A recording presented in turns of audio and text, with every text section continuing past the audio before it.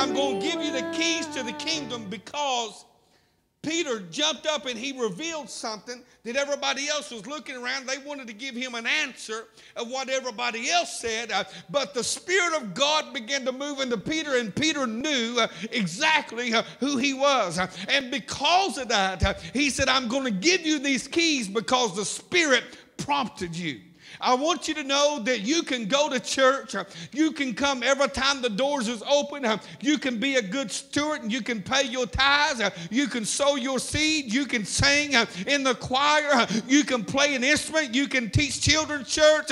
You can greet at the door. I can go on and on and on. But if you don't understand who you are inside the kingdom of God, all you'll become is a church fixture. And they will know you as somebody who went to church and was always always there. But when you get this thing, you become something more than that. You become a threat to the kingdom of hell because you open up your mouth and you say a thing and it happens. Hallelujah. The enemy is not scared because you go to church. He's scared because you got something out of it. He's scared because you don't go to church, but you become the church. Praise God. He's scared because all of a sudden, all of a sudden, you realize a building don't make me. It's inside of me. I know the Bible says, Jesus said, I'm going to give you the keys to the kingdom. And whatever you, look at your neighbor and say, you. You activate this thing by what you say. You activate your life, you walk through this by how you feel in Christ not in the flesh. Because I, I, can tell you right now, some of you come in here today and you probably don't feel good, right, Pee Wee? Got an arm broken two places, been waiting on doctor for two weeks. Two.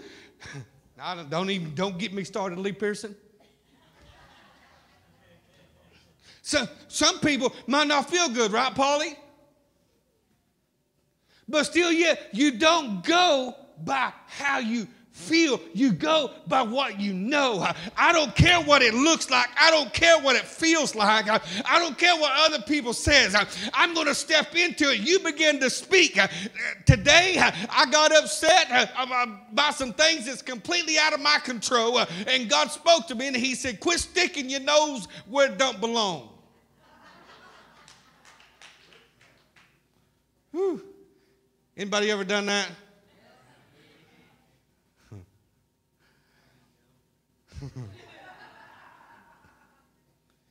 and, and we still have the power to speak things, but every day we're going to have an opportunity for the enemy to come in and try to derail us uh, and stop us from where we are going. But I want you to know, as he said, uh, I'm going to give you the keys. He, he, he looks right at Peter. He said, Peter, I'm going to give you the keys uh, to the kingdom. Notice when Jesus came walking and he began to come talking and he was looking for somebody to feed his sheep, who did he talk to?